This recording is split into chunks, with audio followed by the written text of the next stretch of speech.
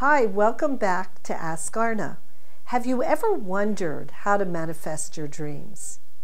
Well, I'll tell you, that is one of the main questions that clients come to me.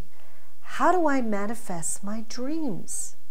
Most people actually do the opposite to manifest their dreams. What they actually do is they think of all the worst possibilities to happen. Why? Because they think if they do that, they won't be disappointed.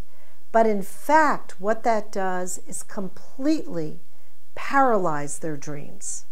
Because if what you're putting out there is negativity, it will be a direct mirror reflection of what happens in the outer world. So, this is what I tell people if you want to manifest your dreams, you have an intention.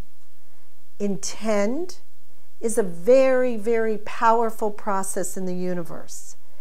You put that dream out there. And then the other thing, a lot of people think, okay, I'll visualize what I want. Well, guess what? Visualization is not enough.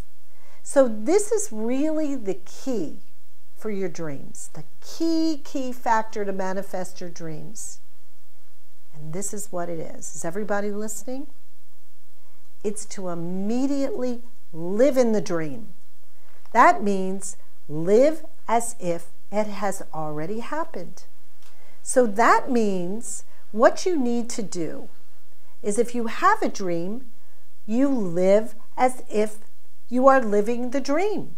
That means not only visualization, the feeling, the sound. We call these living visions. But living the dream is the key to manifesting your dream. I'll have more for you next time. Thank you for joining me.